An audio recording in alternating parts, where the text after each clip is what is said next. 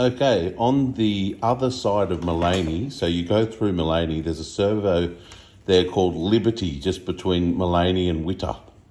And they had this at the point of sale uh, uh, counter. Look at that. When do you see a pickle? And it's, gosh, it's got to be six or eight inches long. It's from America. So, Mum and I are going to taste it. So, Mum, it's going to be full of water, which could be yummy too. But um, so, what do you do? Put it in a bowl now or something before you cut it? In a bowl.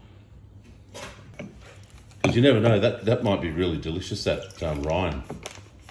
This has come from America where they're supposedly the leaders, experts in pickling things.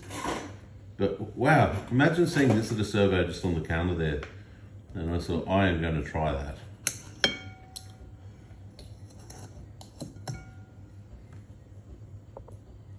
Oh, thanks.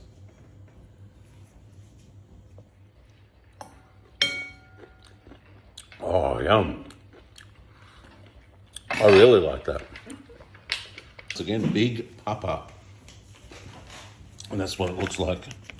But there's no. Oh, let's read the back. Water, salt, vinegar, calcium chloride, natural flavouring, sodium benzate. I don't know what those things are, but it's basically just cucumber and a brine that they've made up. Look at this zero carbs, zero fat, zero fibre, zero sugar, protein one gram. That won't hurt you.